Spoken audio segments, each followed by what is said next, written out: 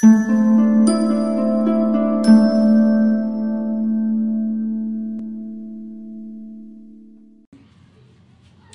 peace. It's another opportunity for us to come together and hear and learn of the word of truth that's given to us by the Most High God. All honor goes to the Father through the Son, whose name is Yahushua. In him lies the only hope for salvation. We know that it is obtained by grace through faith and not of works, lest anyone should boast. It is given freely as a gift to all who obey him. And if we do not obey, it is made manifest or made obvious that we do not believe. In this state, we should expect no good thing from the Most High. However, anything that we do get, whether it be a gift of tongues, a gift of prophecy, or any supernatural experience that we may have, it can and it will be used against us in the day of judgment. With that said, peace to the saints that are in the room, to the saints that couldn't make it, to the saints that are watching in, but no peace to the wicked. The only thing we say to them is repent that they might live.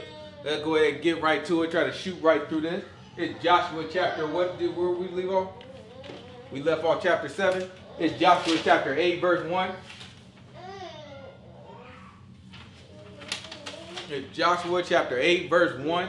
Last week we left off. We know that we went in and we tried to uh we tried to take the land of Ai. You know what I'm saying? When we tried to take that land, we got our people ran off. Joshua started falling to the ground crying. Joshua was like, like, Lord, why you, you know what I'm saying? Why you why you let these people take us over like that? We turned our back to the fight.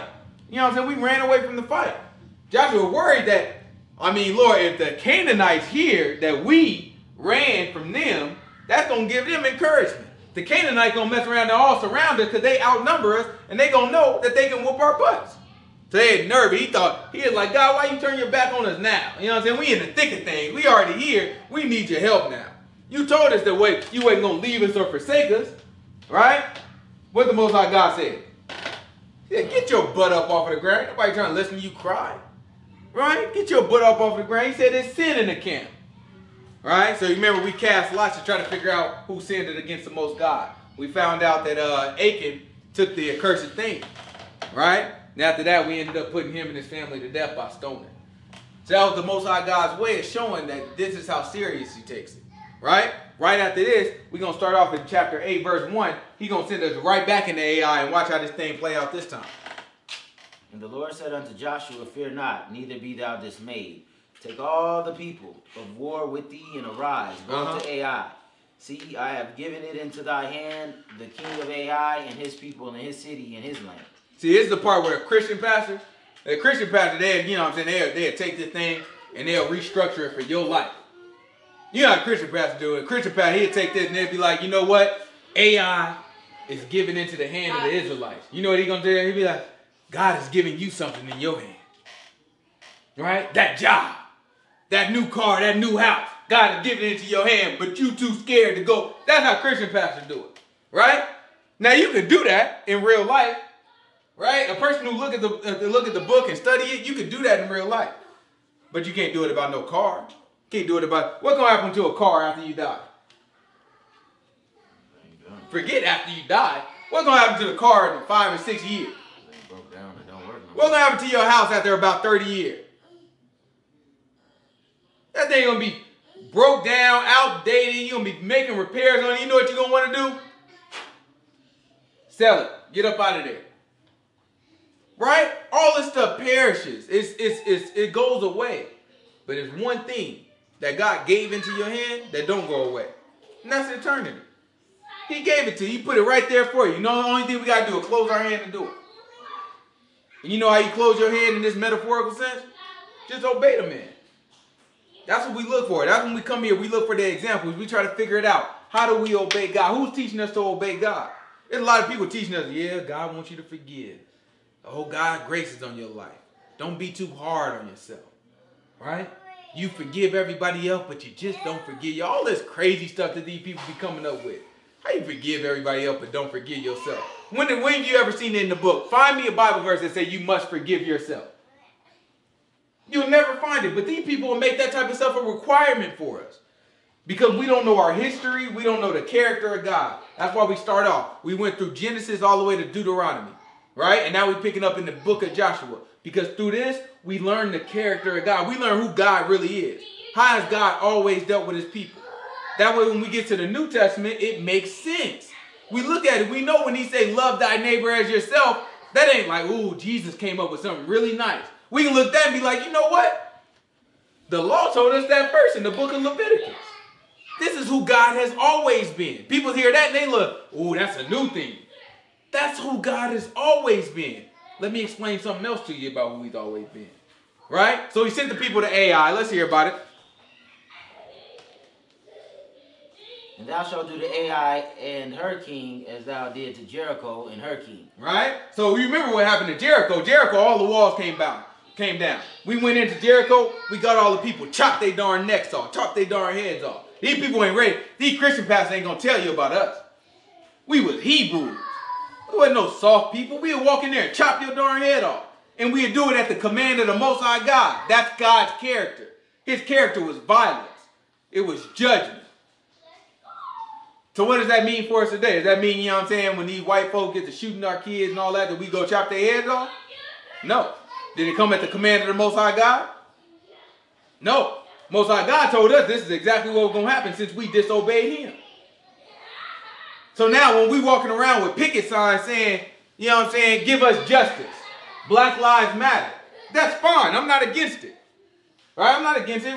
Y'all choose to do y'all picket sign, y'all do it. But have the context. Know that we're in this situation, not because the white man is so powerful and evil. We in this situation because the Most High God put curses on us if we did not obey his word. So what's the real solution? Tell them that they evil, tell them that they wrong, tell them that they unjust, and at the same time obey God's word. That's judgment for us. Right? We put ourselves in a position where it's okay for us to judge because we're doing the right thing. So we can tell the, the other man that there's a speck in his eye. Then at the same time, we obeying God, so we, we're we're pleasing in his sight. Keep going. Let's see what you're talking about.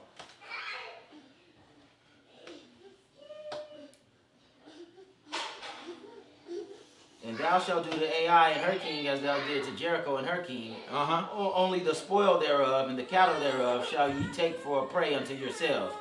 Lay thee an ambush for the city behind it. Uh-huh. So Joshua arose and all the people of war to go up against Ai. Uh-huh. And Joshua chose out thirty thousand mighty men of valor and sent them away by night. How many how many he chose out the first time they went? Three thousand. Remember last chapter he chose out 3,000 people. He said, you know what, let me not play with these people now. He said, go ahead, give me 30,000. Right? Go ahead, give me 30,000. I mean, let's just see what we can do with 30,000. He took the whole 30,000. Joshua had a plan this time, though. Watch this. So Joshua arose and all the people of war to go up against Ai. Uh-huh. And Joshua chose out thirty thousand mighty men of valor and sent them away by night. Uh-huh. And he commanded them, saying, Behold, you shall lie in wait against the city, even behind the city. Go not very far from the city, but be ye all ready. Uh-huh. And I and all the people that are with me will approach unto the city, and shall come to pass, when they come out against us at the first, that we will flee from before them. For they will come out after us, till Uh-huh. we have drawn them from the city. For they will say, They flee before us as at the first. Therefore we will flee before them. Uh-huh. Then ye shall rise up from the ambush and seize upon the city, for the Lord your God will deliver it into your hands. Right? So Joshua came up with a plan to ambush. He said, look, we're going to take more soldiers. We're going to have this portion of the soldiers go hide out, right? Then we're going to take the rest of our soldiers and take them head on just like we did before. When we rush them, they going to look at us and they going to be like, okay, let's have it. They going to come at us. we going to turn and run just like we did before. They going to think we ran like the last time. they going to chase us. When they chase us, then we going to send our guys that was hiding out into their camp, take over their whole place. So it was a good plan, right? They were going to ambush them. They tricked them, right? They're setting them up. Let's see. Let's keep going. Then ye shall rise up from the ambush and seize upon the city, for the Lord your God will deliver it into your hand. Uh-huh. And it shall be when ye have taken the city that ye shall set the city on fire, according to the commandment of the Lord shall ye do. You going to set the city where? On fire. Okay. See, I have commanded you. Joshua therefore sent them forth, and they went to lie in ambush in above in abode between Bethel and Ai, Uh-huh. on the west side of Ai. But Joshua lodged at night among the people. Okay. And Joshua rose up early in the morning and numbered the people. Okay. And went up, he and his, he and the elders of Israel before the people of Ai. And all the people, even the people of war that were with him, went up and drew nigh and came before the city, and pitched on the north side of Ai. Now there was a valley between them and Ai. Mm-hmm. And he took about 5,000 men and set them to lie in ambush between Bethel and Ai on the west side of the city. And when they had set the people, even all the host that was on the north of the city, and their and their liars in wait on the west side of the city, Joshua went that night into the midst of the valley. Uh-huh. And it came to pass when the king of Ai saw it, that they hastened and rose up early in the middle of the city, went out against Israel to battle. Watch the king of Ai. He just he just fell. It looked like he just fell right into the trap. King of Ai just fell right into it. They probably looking at him like you idiot. You just you fell right for it. Let's see. He There's a reason why it looked like that. he and all his people at a time appointed before the plain, but he wist not that there was liars in ambush against him behind the city. Uh-huh. And Joshua and all Israel made as if they were beaten before them and fled by the way of the wilderness. They tricked them. Right? They set them up. Let's see. Keep going. And all the people that were in Ai were called together to pursue after them. Uh-huh. And they pursued after Joshua and were drawn away from the city. Mm-hmm. And there was not a man left in Ai or Bethel that went not out after Israel. And they left the city open and pursued after Israel. Uh-huh. And the Lord said unto Joshua, Joshua stretch out, excuse me, stretch out the spear that is in thy hand toward Ai, Uh-huh. for I will give it into into your hand. Uh-huh. And Joshua stretched, Joshua stretched out the spear that he had in his hand toward the city. Uh-huh. And the ambush arose quickly out of their place. Uh-huh. And they ran as soon as he had stretched out his hand. Soon as they entered into the city, wait, soon as he had stretched out his hand, and they entered into the city and took it and hastened to set the city on fire. They set that thing on fire. Keep going. Watch this. And when the men of Ai looked behind them, they saw, and behold, the smoke of the city ascend up to heaven. Uh-huh. And they had no power to flee this way or that way. So now they already out. They chased all the other ones thinking that they running from him. King Ai said, yeah, let's get they butts. Look like he just fell right for Z- Zakat. Hush. King Ai go and chase the people, right? They looking for him. Okay, like, okay, what's happening? Right? Then they turn around, they see their whole city on fire. Just up in smoke. What you think they gonna do at that point? Where to go? What you gonna do? Right? Let's see.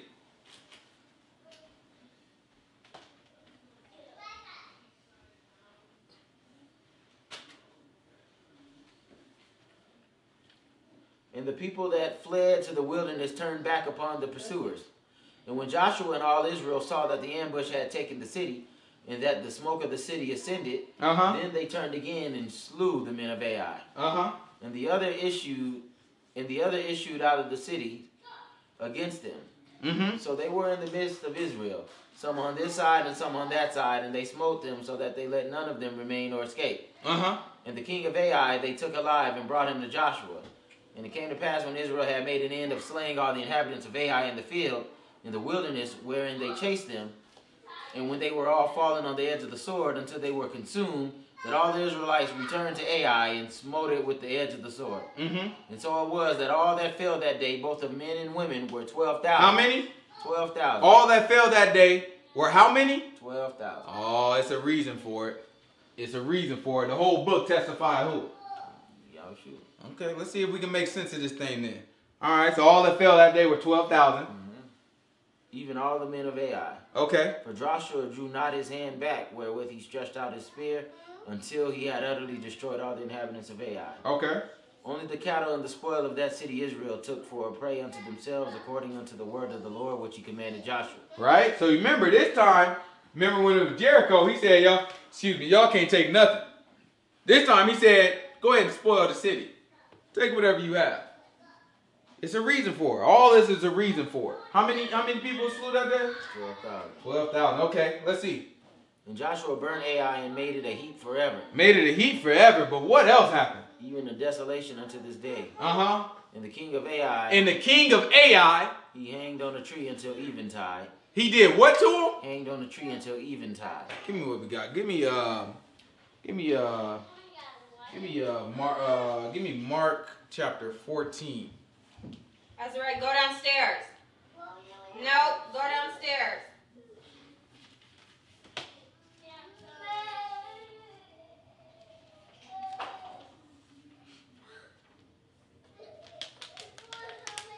This is Mark chapter 14. verse 42.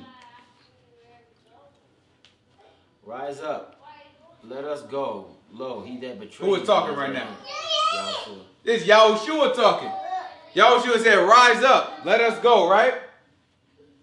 And immediately while he yet spake, cometh Judah, one of the twelve, Who? one of the twelve, Judah, And what did Judah come to do? and with him a great multitude with swords and staves from the chief priests and the scribes and the elders. Sound like an ambush. Right? Let's see. Keep going. And he, that- he that betrayed him had given them a token, saying, Whomsoever I shall kiss, that same is he. Take him and lead him away safely. Look, Yahushua got ambushed and tricked too. He got set up too. Just like the king of Ai. What do you think the king of Ai was testifying of? Keep going. Watch this. And as soon as he was come, he goes straightway to him and says, Master, Hush. Master, and kissed him. And they led their and they laid their hands on him and took him. Uh-huh. And one of them that stood by drew a sword and smote a servant of the high priest and cut off his ear. Uh-oh. So now they fighting. How many disciples was it? Twelve. Why do you think 12,000 had to die? When Joshua took Ai, why do you think 12,000 had to die? Because you know what? When they took Yahushua, 12 disciples had to scatter. Right? 12 disciples had to scatter. That means 12,000 had to die that day. But they took Yahushua alive, just like they took the king of Ai alive. Let's go back to Joshua and let's see how they ended up dealing with the king of Ai. Because I mean, I can't, I just couldn't believe that he would be hanging on the tree until eventide. When did Yahushua, what, I mean, did, did Yahushua hang on the tree? Absolutely. Okay, and when did they take him down? At even. Took him down right at even. So when we look into when we look into the book of Joshua, what do you think we're reading? We think we're reading about the king of Ai. Why do you think? Okay, let, let- I mean, let's just. When it came to Jericho, we couldn't take none of the spoils.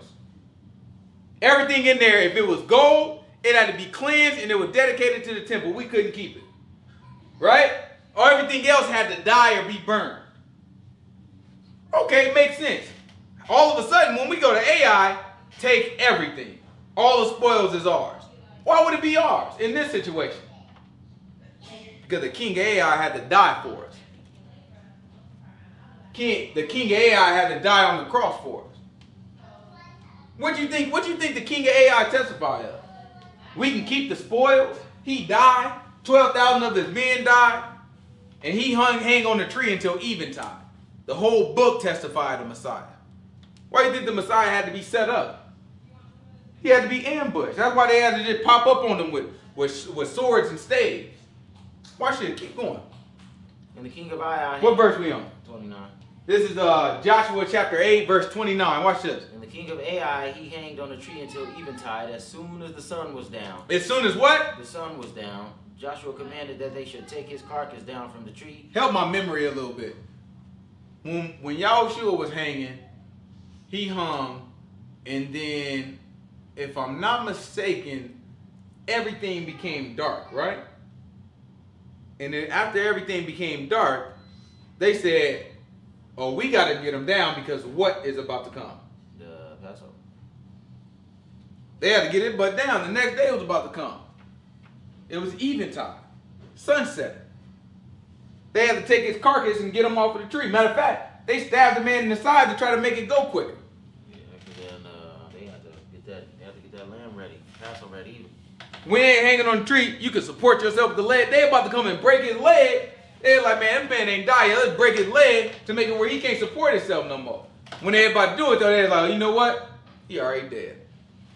They got his butt right on down.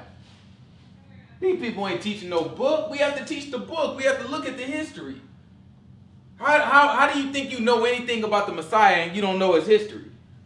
You don't know everything in the book that testifies. He says, search the scripture because in them you think you have eternal life. And he said the whole time is testifying of me. Keep going.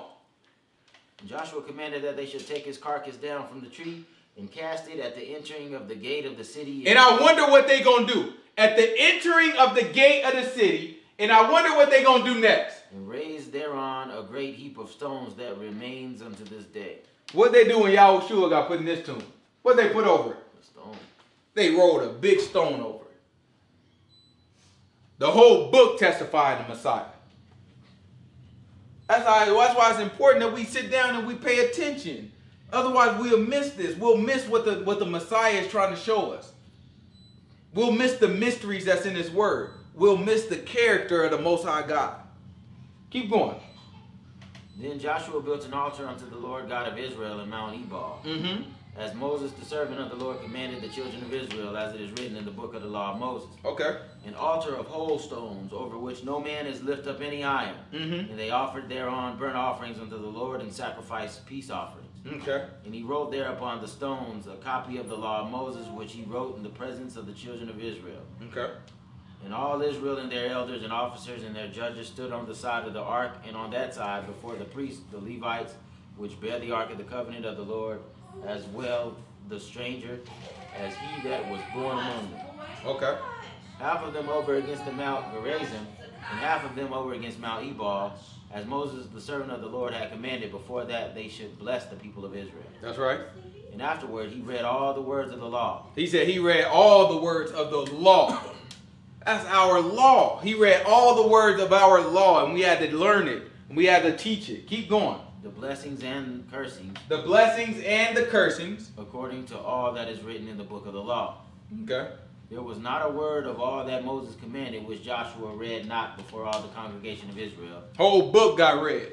with the women and the little ones and the strangers that were on, conversant among them. He read the whole thing. We get to reading a few verses out of a few books, and people aren't falling asleep, dozing off. You know what I'm saying? Oh man, I just, you know what I mean? Long. He wrote, he read the whole book. He said he didn't leave nothing out. He didn't leave nothing out. You know what our people, our people was in the play. we is excited to hear. They probably stood up the whole time to listen to it. We just gotta get our minds back there.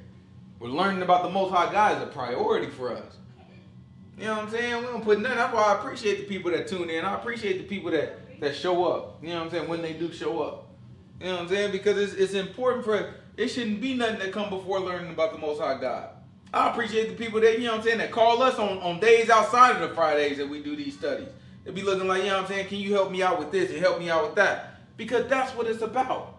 How you gonna learn anything? How you gonna figure out anything in your life when you ain't figured out your soul?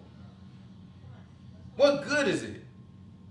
What good is it to figure out, you know what? I finally learned how to handle my finances and how to fix my credit.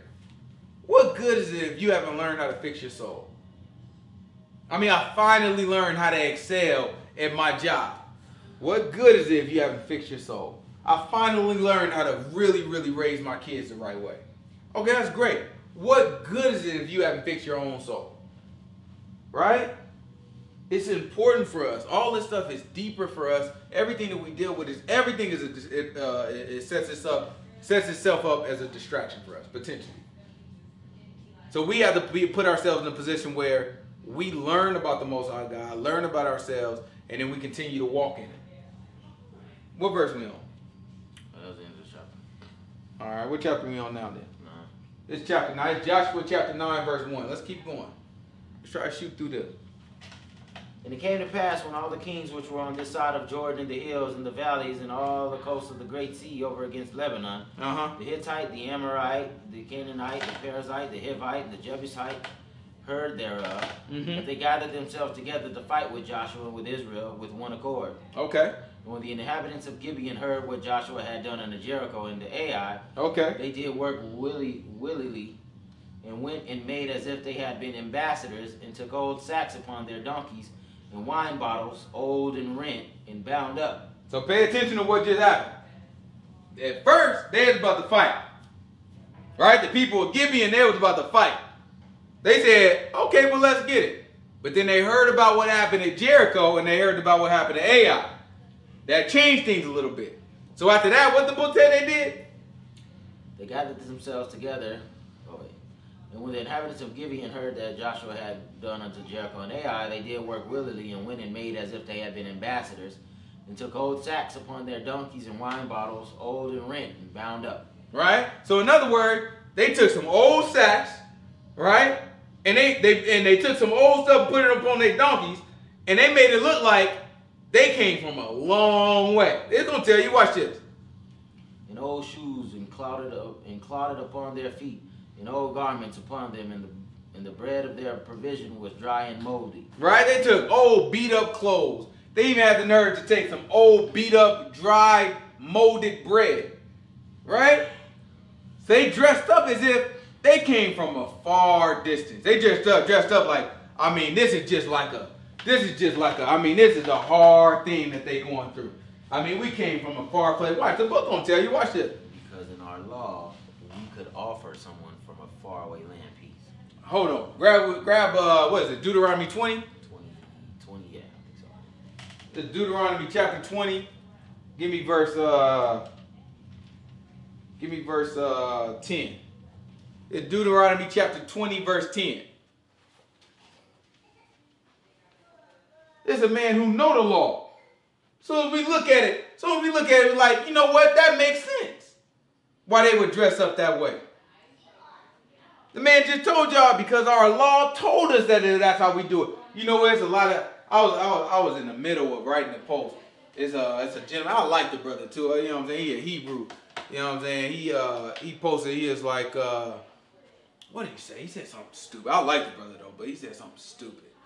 He said uh he said if if y'all Hebrews think it's okay, y'all Hebrews and Christians think it's okay for Israelites to mix with other people, in other words, to you know like marrying their kids with Gentiles and all that, then um, why do y'all? What did he say? It was something silly.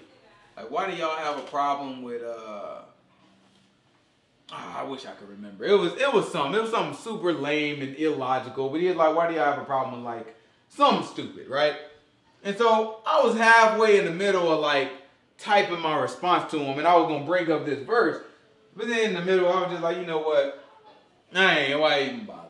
You know what I'm saying? Why even darn bother? If he got a question, he can ask it. You know what I'm saying? It's just we just gotta get in a position when we start spending our time and our energy on people who really want to know the truth. People who got their mind made up and they trying to be provocative on Facebook and social media. Let them be provocative. Let them do what they do. But when it comes to when it comes to people who who are who are vulnerable and they open themselves up and just like, you know, honestly, I don't know and I want to know. That's the ones that we looking for. That's the ones who y'all should dealt with. You know what I'm saying? You notice when the Pharisees came to him, the ones who just thought they knew and they questioning them and, and trying to be provocative towards them, he just gave them that same energy back. But for the other one, just like, hey, Lord, what do I do? What commandments do I need to keep to make it into a kingdom? He came with them, he just gave it to them, he taught those people. That's how we got to be too. You know what I'm saying? The ones that's willing to learn, let's teach them. Rest of these folks, man, let's not kill, not kill too much time on these people. Let's hear about it. Let's see what we're talking about. This is uh, Deuteronomy chapter 20, verse 10. Deuteronomy chapter 20, verse 10. When thou comes nigh unto a city to fight against it, uh-huh. then proclaim peace unto it. So he said, when you come nigh unto a city to, to fight against it, proclaim peace unto that city. Right? Let's hear about the peace that we're going we're gonna put on that city. It shall be, if it make the answer of peace and open unto thee, then it shall be that all the people that is found therein shall be tributaries unto thee. Everybody in that, that land, if they decide to make peace with you, they're going to be tributaries. In other words, they're going to be servants, slaves. And they shall serve thee. Uh-huh. And if it will make no peace with thee, but will make war against thee, then thou shalt besiege it. Mm-hmm. And when the Lord thy God has delivered it unto thine hands, thou shalt smite every male thereof with the edge of the sword. Okay. But the women and the little ones and the cattle and all that is in the city, even all the spoil thereof, shalt thou take unto thyself, and thou shalt eat the spoil of thine enemies, which the Lord thy God has given thee. All right? So if you find a city and you make peace with it, and they make peace with you, good. Now they your service. You you run them. You rule those people, right? But if they don't make peace, then you go ahead and go to war with them, and you kill all the males, but the women and the children you spare, and they become your servants, right? But you also got to take care of them, right? Keep going. Thus shalt thou do unto all the cities which are very far off from thee, which are not of the cities of these nations. He said, thus, the, everything that he just said, that applies to all the cities that are what?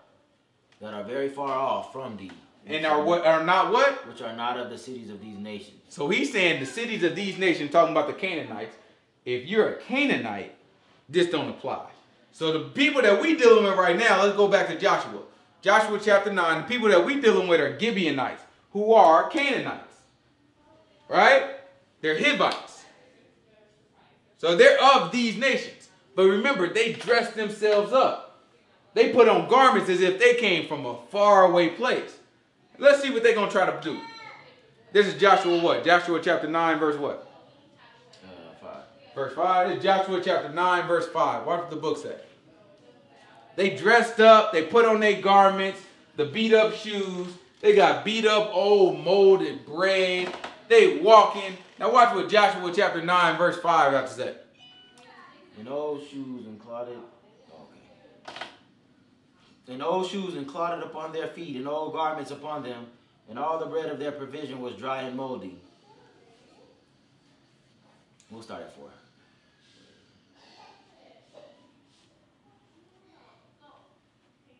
Oh, good.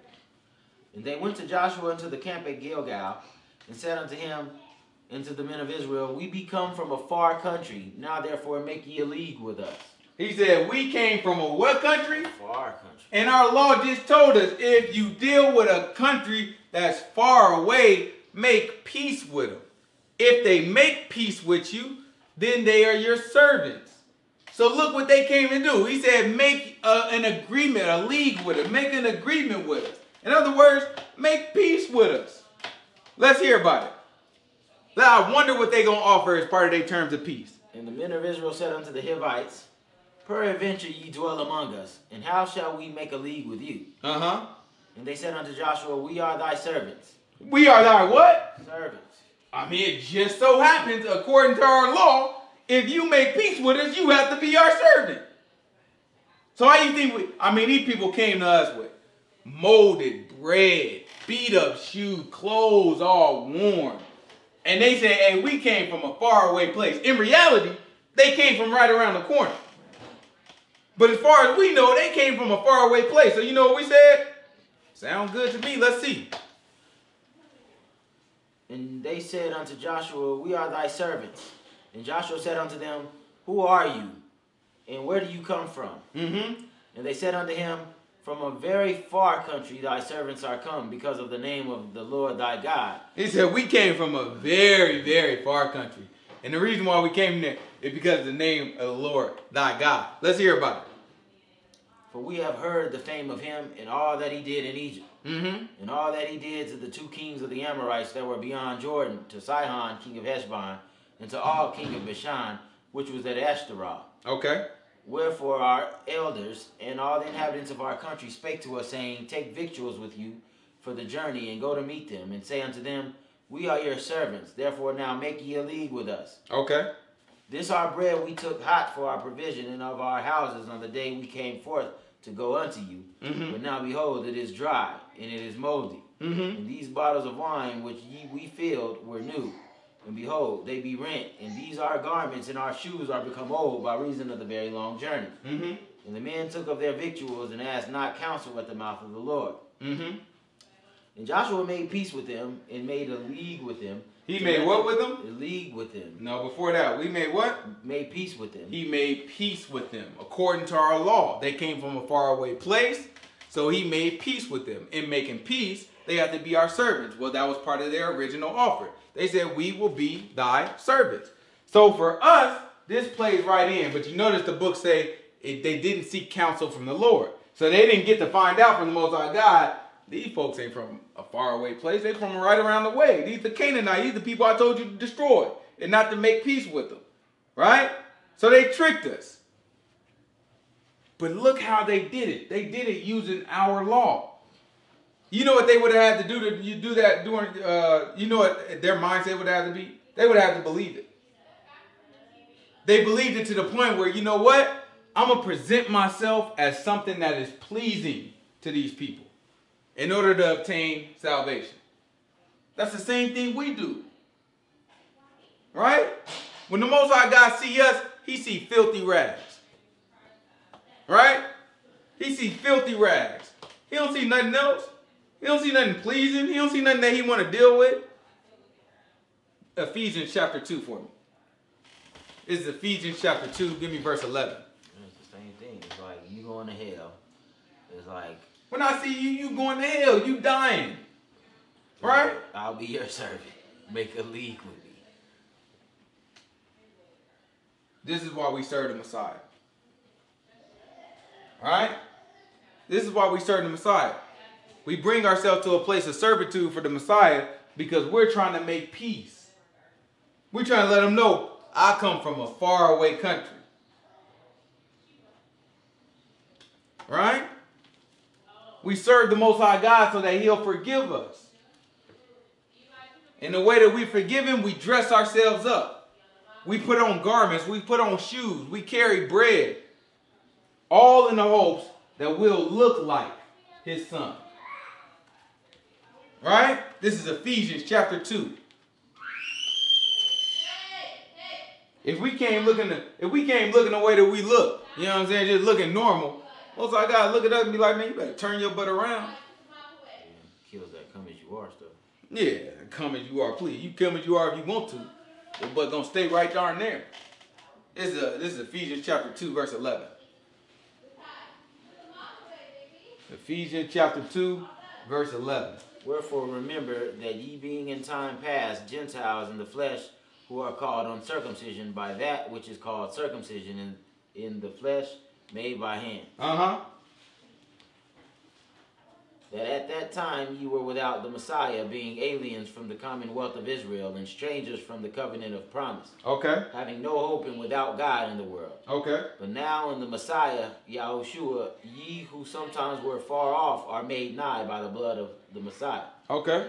For he is our peace, who has made both one and has broken down the middle wall of partition between us, Uh huh.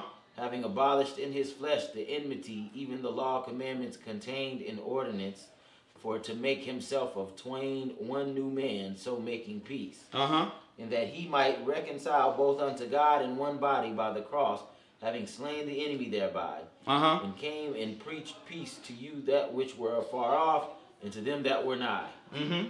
For though Peace to those what? afar off, And then who else? and them that were nigh. Where you think all this is coming from? You you don't even pick up on this language until you know our law. We just reading all we think it's just oh yeah Paul just talking about you know making peace and all that. No, he's talking about our law. He's making peace to those that are far off. And just like the Gibeonites tricked us, we have to trick the Father so that even though we are nigh, He's making peace with us. Keep going. For through him we both have access by one Spirit unto the Father. Now therefore ye are no more strangers and foreigners, but fellow citizens with the saints and of the household of God, Uh huh. and are built upon the foundation of the apostles and prophets. just like just like the Gibeonites, they came, right? And now they're no longer they they accepted them in. We made a league with them.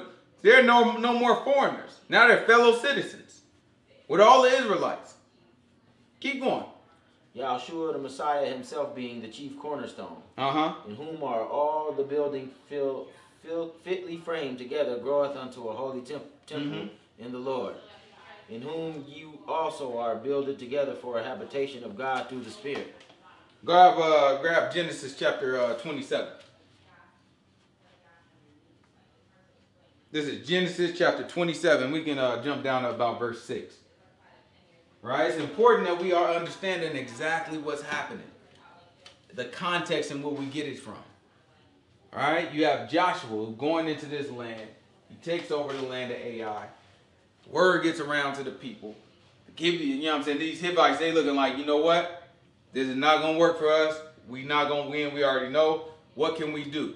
I heard something is in their law, guys. If we coming from a faraway nation, they not gonna kill us off like they killing off all the rest of the Canaanites, all our brethren. So let's pretend like we came from far away. They dress up. They look the part. They put on something that would be pleasing to the people. Right? They put on, they present themselves as something that can be saved, salvaged. That's what we have to do. It's not the first time, right? All of this stuff testifies of the Messiah, right? Let's look at Genesis chapter 27, is verse 6. And, Rebekah spake unto Jacob her son, saying, Behold, I heard thy father speak unto Esau thy brother, saying, Bring me venison and make me savory meat that I may eat, and bless thee before the Lord before my death. Right? So this is Jacob and Esau, talking about Jacob and Esau. So now this is this is Rebecca talking to uh, Jacob, right? And Esau had just been told, listen, go give me some venison by Isaac. So the father asked the son to go get him some meat. And if he brought him the meat, he would give him a blessing. So the other son, who didn't get told to, that he was about to get a blessing, was told by his mom, you know what? This is what you should do. Keep going. Bring me venison and make me savory meat, that I may eat and bless thee before the Lord before my death. Now therefore, my son, obey my voice according to that which I command thee. Go now to the flock and fetch me from thence two good kids of the goats, and I will make them savory meat for thy father, such as he loves. And thou shalt bring it to thy father that he may eat, and that he may bless thee before his death. Mm-hmm. And Jacob said to Rebekah his mother, Behold, Esau my brother is a hairy man, and I am a smooth man. Mm-hmm. My father perhaps will fill me, and I shall seem to him as a deceiver, and I shall bring a curse upon me and not a blessing. All right? So he looked and he knew Jacob was smart enough to know, listen, I don't look like Esau. I don't feel like Esau. I don't smell like Esau, my brother. My father would be pleased with my brother, but I'm not my brother. How am I going to get past? He told his mom, I don't know if this is going to work. I'll mess around and bring a curse on me. Watch what mom and her wisdom said. Mother and his mother said unto him, Upon me be thy curse, my son. Upon who? Upon me be thy curse. Mm. Just like Yahushua. Yahushua took our curses and put it on him. He said, Upon me be the curse. What do you think this testify of? Watch what else. Keep going. Only obey my voice and go fetch me them. Uh-huh. And he went and fetched and brought them to his mother, and his mother made savory meats such as his father loved. He obeyed, he obeyed his mom's voice. Okay, keep going. And Rebekah took goodly raiment of her eldest son Esau, which were in her which were with her in the house, Uh-huh. and put them upon Jacob her younger son. Okay. And she put the skins of the kids of the goats upon his hands and upon the smooth of his neck. So now she covered him with animal skin to make him appear as if he's Esau. Right, keep going. And she gave the savory meat and the bread which he which she had prepared unto the hand of her son Jacob. And he came unto his father and said, My father. And he said, Here am I. Who art thou, my son? Uh-huh. And Jacob said unto his father, I am Esau, thy firstborn. I have done according as thou badest me. But he wasn't Esau, he was Jacob. But Jacob dressed himself as Esau, went to the father and said, I am your son, the one that you are pleased with. His father had been dim, you know what I'm saying? His eyes were dim, so he couldn't see well, he was old. He felt around and was like, oh, well, you feel hairy, because his mom told him he put on he put on skins of animals so that he'll feel hairy like his brother. And they got one over on his dad, and the dad ended up blessing him. But at the end of the day, he had to put on the son. That's the same thing that we do. We have to put on the Messiah. We have to dress ourselves in the Messiah. That's why we have to walk as the Messiah walks. That's why we have to live as the Messiah lived. Otherwise, we won't show ourselves as pleasing to the Father. When the Father look at us, he's going to be looking like, man, turn yourself around. When the Father look at us, he has to see the Messiah. He has to see the Son. Otherwise, we're not pleasing to him. That's how all this plays out. When Yahushua died on the cross for our sins, he did that to cover us in what? Blood. Why does he need to cover us in his blood? We like him. We have to be like him. Otherwise, we're not pleasing to the, to the Father. The whole book testifies of it. Right? We're just like the Hivites that pretended to come from a faraway country. We had to dress ourselves and put on the Messiah. Give me Gibeonite. Huh? Give me Gibeonite. Yeah, but they Hivites though. Right? It'll say it soon. But uh, go to uh hold on, give me a second. Go to mm, mm, mm, mm, what are you thinking of Hebrew? I just don't remember what he said put on Christ. Oh, uh, give me Ephesians chapter five, verse one.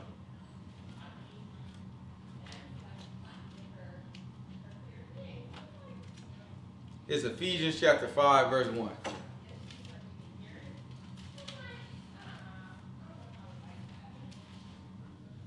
And the word is here for it, and it's so rich powerful, and there's so much in it, and we can just sit here and learn from it all day. The word is here. All it takes is a little bit of time, a little bit of dedication to look into it. Move slow. We don't have to move so fast. We don't have to pretend like we know everything. just take your time and learn and don't be afraid to ask questions. Don't be afraid to say you don't know. Don't be afraid to figure out the answer. Don't be afraid to push through it. I know it can be boring sometimes reading the book or even listening to the book. I know some of that stuff. I know you can start dozing off and go through all that. Push through all that stuff and let it get into your soul. Let it reach you. All this other stuff is just distracting, you, blocking it. You got things popping up and things happening. Don't let nothing distract you. Kids running around. Don't let the kids run around distract you. Whoop their butt a couple times. Tell them to sit their butt down. If that don't work, let their butt run around. You hear the word.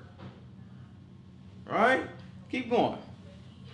Be ye therefore followers of God as dear children. Uh-huh. And walk in love as the Messiah also has loved us and has given himself for us an offering and a sacrifice to God for a sweet smelling savor. Uh-huh. But fornication and all uncleanness of covetousness, let it not be once named among you as becoming saints. Uh-huh. Neither filthiness nor foolish talking nor jesting, which are not convenient, but rather giving of thanks. For this ye know that no whoremonger, nor unclean person, nor covetous man who is an idolater has any inheritance in the kingdom of the Messiah and of God. Let no man deceive you with vain words. Let no man deceive you with vain words. None of this stuff is getting into the kingdom. Keep going. For because of these things comes the wrath of God upon children of disobedience. When you hear wrath, what do you know? Anger.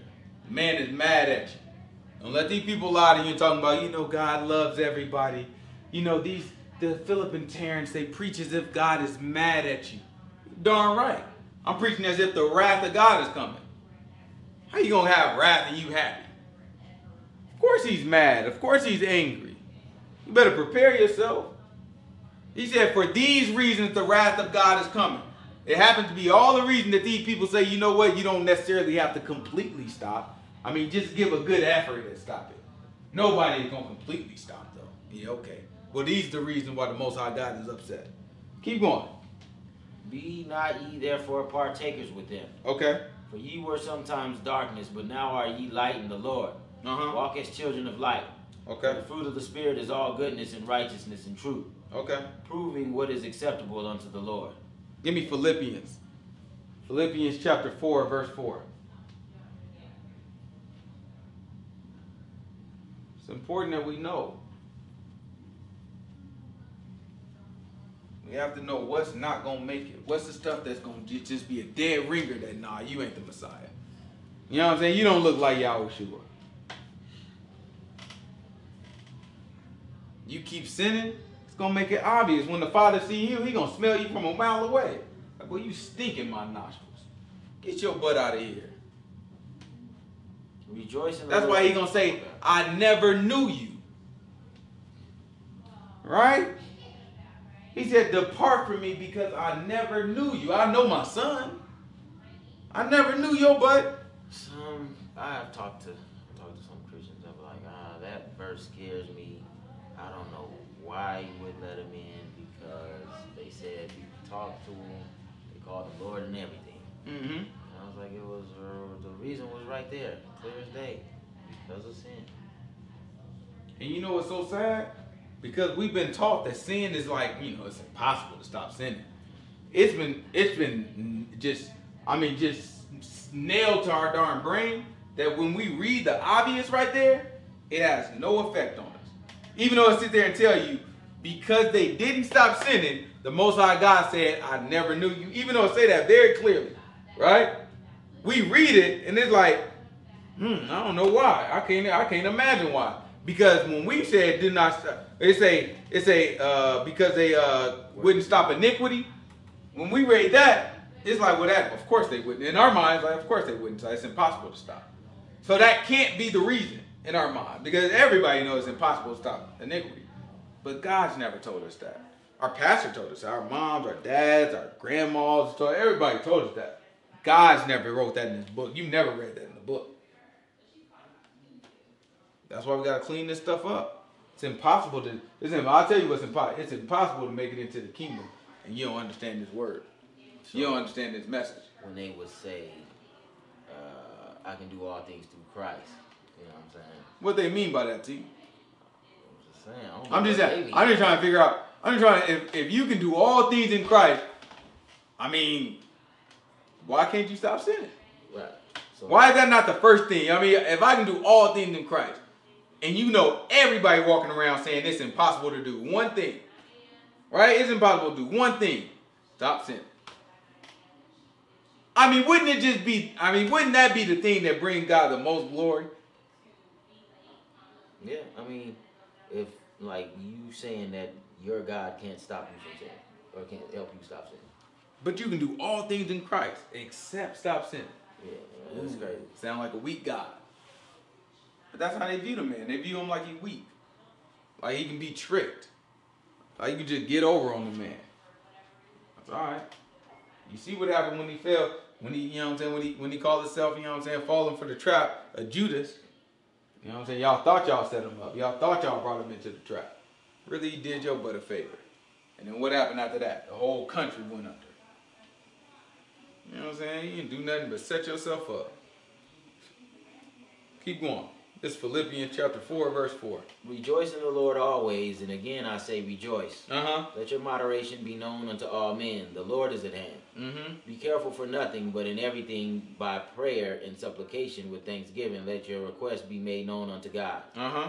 And the peace of God, which passes all understanding, The peace of God that does what? passes all understanding, shall keep your hearts and minds through the Messiah, Yahushua.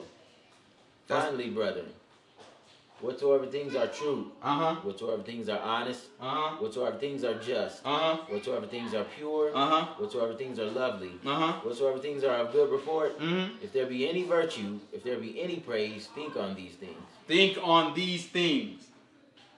Ponder on those things. A lot of times our thoughts and our, our, our dealings go in and our ideas start to trouble us. If it be anything that's true and honest, ponder on those things. Think about those things. We can't devote so much of our time to, to, to, to just evil and just thinking about stuff that just we know don't bring God no glory.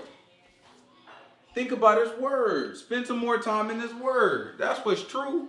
That's what's honest. Right? Give me uh First Thessalonians. We should be able to wrap up after this one. First Thessalonians chapter 5, give me verse 1.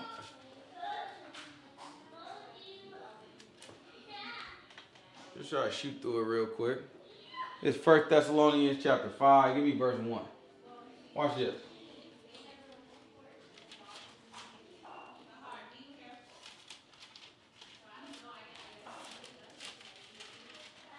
It's First Thessalonians chapter 5. It's verse 1. But of the times and the seasons, brethren, ye have no need that I write unto you. You have no need that I write unto you about the times and seasons. He's talking about the times and seasons at the end of the world. Watch this. For you yourselves know perfectly that the day of the Lord so comes as a thief in the night. Uh-huh. For when they shall say peace and safety, When they shall say what? peace and safety, So we just heard about the peace that, that passes all understanding, right? Right? We find the peace of God, and it because it's because we understand the word. But then when everybody else who does not understand the word say peace and safety, right? These are the people from far off, far from God. When they get to saying peace and safety, what happens? then sudden destruction comes upon them as travail upon a woman with child, and they shall not escape. Nobody escapes. We are going to be in peace. Right? And we're going to have all the understanding of the Most High God. But when the other folks who we know don't have the understanding of the Most High God start saying, you know what? Everything's going to be peaceful. We're all going to be safe. Just know that in a moment, all those people are going to be in danger. It's important for us to understand how this thing works. We have to make peace with God, not try to proclaim peace on the people. We have to have peace in our souls, not try to have peace with the world. Right? When those when those Hivites from Gibeon, when they came, they made peace with the people of God. They could they didn't go to another Canaanite nation and try to make peace. They knew who had the power and who was coming to give judgment. So they went to that group and they said, you know what? Here's peace. And in the, in the near future, it's going to be people that try to make peace with the people of God again. And they're going to be accepted. And there's going to be people who don't make peace with them. And they're going to make peace with the world. And they're going to say, oh, don't worry about it. We all safe. And in a moment's instantly, y'all, y'all sure. The Messiah, he's gonna come back and he's gonna light these people butt up. All these people that, and shot down our kids and walked in our darn houses and shot us. You know what I'm saying? They're gonna end up getting off with probation. Just watch. You know what I'm saying? You're gonna get off with probation. You know what I'm saying? All these people that did all these things to us. Right? That locked us up in jail for for fake DNA tests. You know what I'm saying? Talking about they saw our blood in there to find out years later they tested our blood wrong. We didn't go crazy on, on life, death, death row. Spending life in jail and on death row. You know what I'm saying? We go crazy and they talking about they gonna let us out way after. Let us out 20, 30 years after. We old men. Just put us out in the street and don't give us no money. Don't give us nothing. They make a fool out of us. Alright? They make a fool out of us.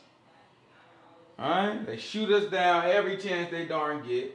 And we look at it and we cry to these people. But you know what we don't cry to? You know what we don't try to do? We don't try to make peace with the people of God. We don't try to make peace with the people that's teaching the truth about the Most High God word. We don't try to make peace with God. We don't try to teach our people who we are. We just sit here and we keep trying the same thing. Black lives matter. Standing on top of darn freeways and blocking cars from passing. Okay, that's fine. I'm not saying don't do it. Do what you got to do. All I'm saying is let's get to the root of the problem. Let's not kill some time. It'd be more, way more effective to stand in the and stand in the freeway and block the freeway if the people knew who they were. People knew who they were, then they can stand, they can hold up a sign that means something. We the Hebrews, we the people of God. Let's see how many people get mad at that. Let's see how many cameras cut off when they see that. Guarantee they ain't gonna put that on TV. Not yet, at least. Right?